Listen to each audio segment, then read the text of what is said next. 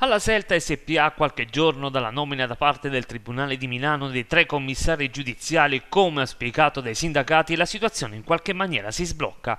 Questo perché è stato convocato per il prossimo 7 maggio un tavolo istituzionale a Roma.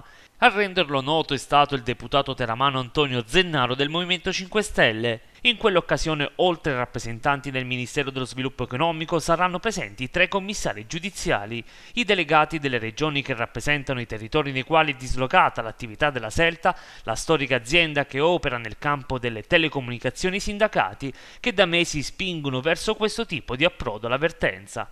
Un incontro molto atteso perché saranno diversi nodi da sciogliere, in merito sia al futuro dell'intero gruppo che conta quattro stabilimenti, ma anche sugli ammortizzatori sociali per i dipendenti, circa 80 solo nel sito produttivo di Tortoreto, che sono oramai quasi scadenza. Finalmente è arrivata la comunicazione del Ministero dello Sviluppo Economico che ci ha convocati per il 7.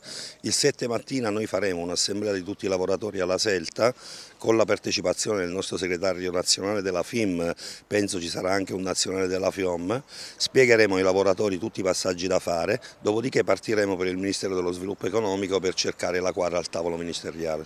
Un incontro molto importante, quale potrà essere lo scenario? Eh, per il momento noi puntiamo al fatto che stanno finendo gli ammortizzatori sociali, quindi il, la priorità è quella. A giugno finirà la cassa integrazione e noi non sappiamo dove sbattere la testa, quindi sarà, la prima cosa da affrontare sarà quella. Poi tutto il resto per il salvataggio dell'azienda eh, verrà in seguito perché non penso che in un, in un solo incontro troveremo la quadra. Vedremo tutte le situazioni e valuteremo tutte le situazioni per il salvataggio della Selta in generale e soprattutto per il sito di Tortoreto.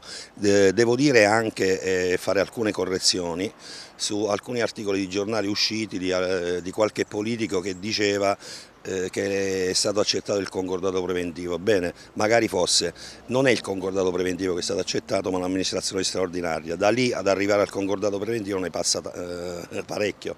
Se fosse stato quello saremmo tutti contenti.